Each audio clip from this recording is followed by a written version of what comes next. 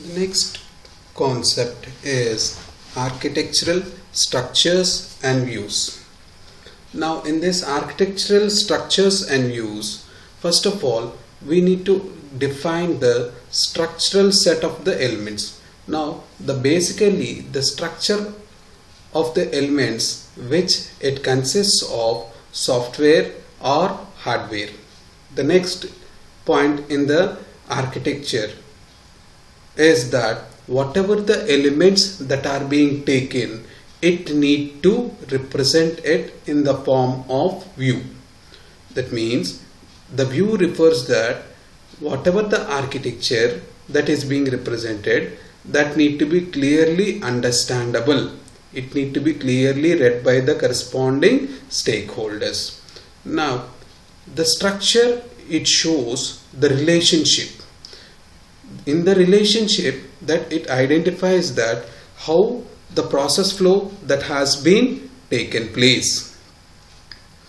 Now, basically these architectural structures are classified into three types. One is modular structures, component connector structures, allocation structures. These three types are being defined. Coming to the modular structures, Coming to the modular structures, the first and the foremost point is that it need to have the units of implementation. Now, where we define the unit, the unit is being defined on the basis of code. That means, what are the different kinds of modules that are being existed in the application and how the corresponding modules that are being executed that it is being referred with the code only that it is being represented with code only. The next one is in the modular structures we will definitely show the functional responsibilities. That means what are the different components that are being interacted with each other in the development of application? Next while developing these kind of structures we need to answer a number of questions that each and every module it shows certain results. Now the results are in a such a way that whether these are under the satisfactory state or not. Whether if it is in the satisfactory state that means the responsibility which has been commenced to develop the application is proper in nature else else we need to rectify the corresponding modules. Next one the modules which are being defined in the structure they need to be specialized or generalized. That means if we show the corresponding modules as a generalized one automatically these modules can be accessed like a template in the to the current application or to the uh, existing other applications also.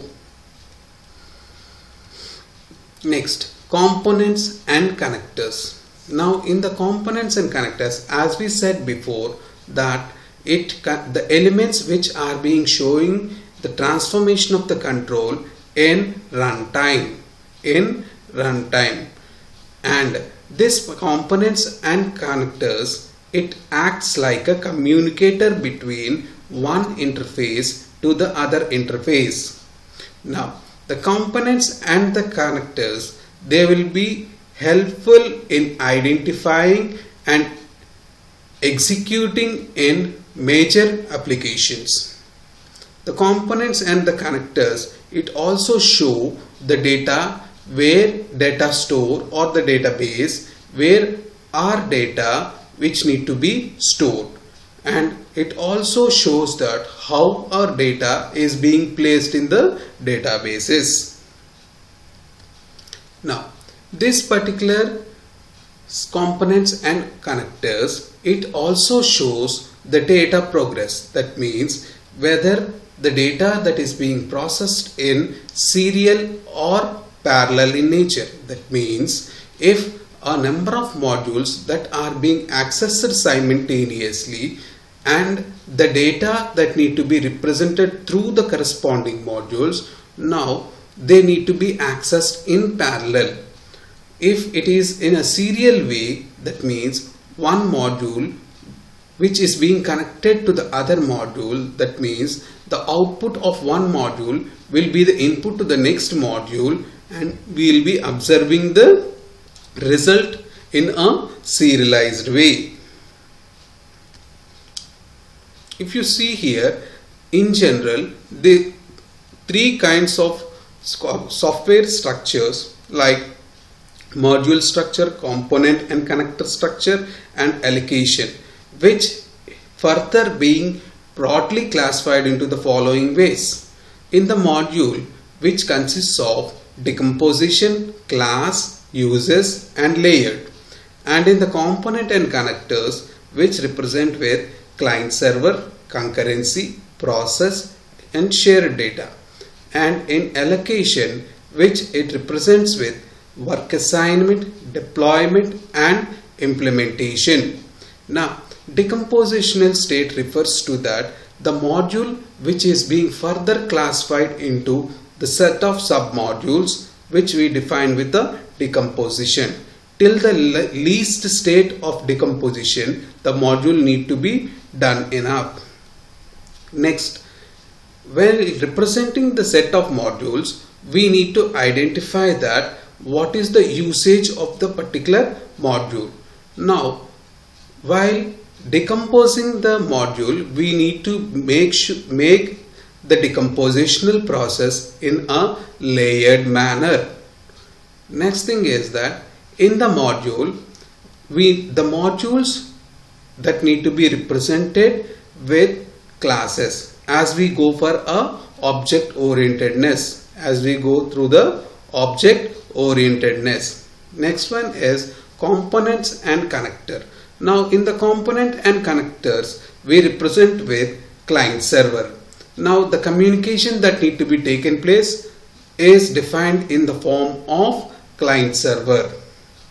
And this component and connectors they show the parallel processing system. That means concurrency. And it also shows that how the corresponding data that is being processed. It also shows that the components and the connectors show that the data which is being processed which is a shared data or not. Next one is the allocational structures. In the allocational structures whatever that we have been defined in the modular structures and the component structures that it is being defined like the work assignment, the categorization of the modules and how the module that is being working at and deployment. After completion of the corresponding work assignment process now the total system is being deployed in certain servers. How this particular deployment or the work assignment that is being done is through the implementation of code